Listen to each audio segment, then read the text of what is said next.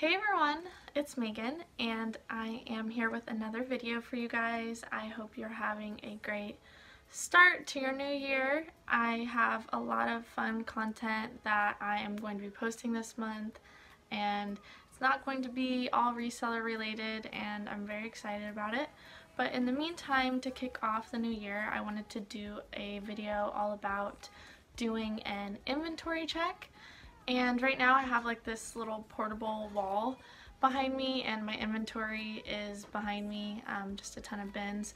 But I wanted to do a video about how I do an inventory check, um, why I do them, why it's important, and just crucial uh, to stay organized and just limit uh, stress in your business. Um, and the biggest reason I do inventory checks is to basically see what items are unlisted, kind of like dead inventory, things that maybe accidentally got deleted or like an unpaid item case on eBay where someone uh, didn't pay me for a couple days, I opened a case and then it kind of just fell off and I forgot to relist it. Um, or even with good till canceled, I have noticed um, I've had friends experience this and I've also experienced it a little bit. Um, good till canceled listings like falling off after a few months and that's why I try really hard to manually end and relist items like before the 30 days or even more frequently to just keep the listings fresh and like adjusting price and title and all that good stuff, giving them the best chance for them to sell. So I'm going to show you guys my process of how I do this inventory check and I do plan on doing an updated video of all my organization and kind of the setup that I have now. Um, I do have an older video that I'll link down below. Um, I still feel like there's great information in that video, but I will be doing an updated video of my inventory organization and giving you guys a whole um, kind of look at how I store items. Um, for the sake of this video though, it's just going to be about doing the inventory check. And yeah, so I hope you guys enjoy the video and I'm just going to go ahead and get into it. So I went ahead and finished numbering my piece of paper. You can use pen or pencil. I just went ahead and numbered 1 through 45. That's about how many, how many bins I have. And my strategy with doing this is it just helps me kind of keep track as I go for which ones I've done and I like to do about five or ten a day and put on you know a Netflix show or something kind of keep me occupied. Um, it does go by pretty fast. It does seem kind of like annoying but they're actually really helpful and like I said I feel like very crucial to my business and staying organized and I like to do them every quarter, and if not every quarter, um, which is every three months, I try to do them at least twice a year, so once every six months, um, just depending on how my inventory is going. Um, I do plan on growing my inventory, um, trying to double my inventory this year. So I will be trying to stay on top of my inventory checks because obviously the more inventory you have, the more likely um, things can fall through the cracks.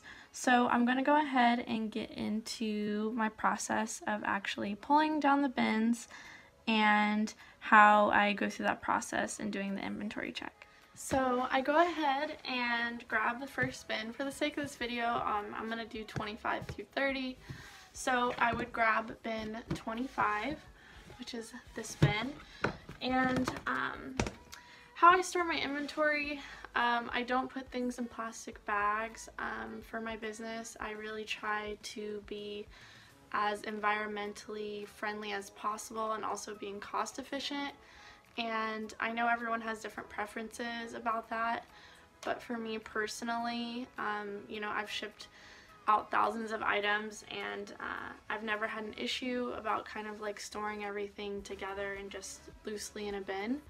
Um, I prefer doing it this way and also I kind of have like OCD about when I ship out items so even if I did put things into plastic bags I would take them out anyways to like double check for flaws and lint rolling and cutting threads and just like all the little things to make sure the item is like in the best condition it can possibly be before I ship it to the buyer. So that is just kind of um, what I wanted to touch on of why you can see my clothing like this and not in any plastic bags at all. So yeah, so what I do, um, I grab bin 25 and I pretty much will dump all of it onto the ground and I will go to my SKU on my computer. Um, all my bins are 1 through 40. I switch them all to a basic um, number system about two years ago. I was doing letters, um, but now I just prefer having numbers because I feel like it's simpler. So I will go to the SKU 25 and it'll show me everything that is in that bin.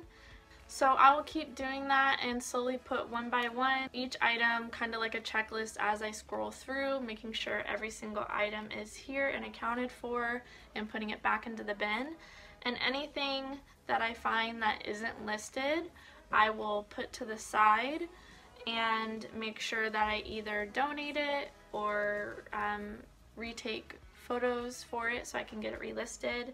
This is also another great opportunity for you guys to maybe clear out some old inventory, maybe some old auction items that you've had on auction for weeks or months that just aren't selling that you rather just finally get rid of. I mean, we all have those items that have stuck around in our store for a year, if not more, that just don't bring in watchers or views that you just kind of want to get rid of. So it's just a great way to also edit your inventory. And Another last tip that I wanted to mention is something that I kind of utilize while doing this inventory check is I like to condense my bins. So if I see that one bin is like half empty, um, I will switch half the bin and put it all into another.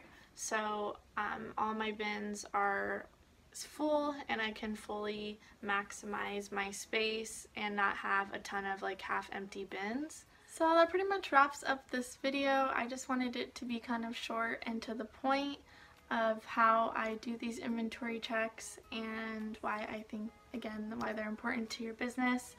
I hope you guys enjoyed the video. Please like it if you did, and I will see you in my next video.